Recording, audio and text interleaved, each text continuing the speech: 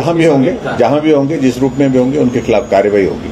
सलाखों के पीछे होंगे सब। और कांग्रेस सर लगातार हमलावर है वो कह रही है कि इतने बड़े मामले में जो है एक तो डीजीपी को हटाने की मांग कर रहे हैं और एक भी सस्पेंशन नहीं है इस मामले में। देखिए ऐसा है कि कांग्रेस के कहने पर तो नहीं होंगी सारी चीज़ें।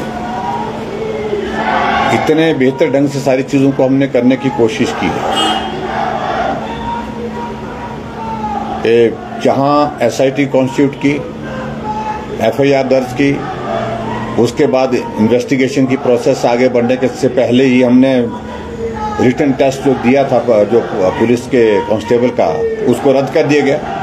और रद्द करने के बाद जब हमको लगा कि भाई उसमें उचित रहेगा, क्योंकि इसमें प्रदेश से दूसरे प्रदेश में भी कुछ लोग इस तरह से हैं जो शामिल लगते हैं तो ऐसे में उचित रहेगा। सीबीआई से जाँच करना, सीबीआई की जाँच की। और इसके बाद आखिरकार कांग्रेस वाले राजनीतिक मुद्दे के सिवा कोई इसमें कोई और चीज़ ढूँढने की कोशिश करते तो समझ में आती, लेकिन वो राजनीति ही करना चाह रहे हैं और हम पारदर्शिता के साथ इस प्रक्रिया को, भर्ती की प्रक्रिया को पूरा करने के हिमाचल प्रदेश के विश्वसनीय ज्वेलर, भूषण ज्वेलर्स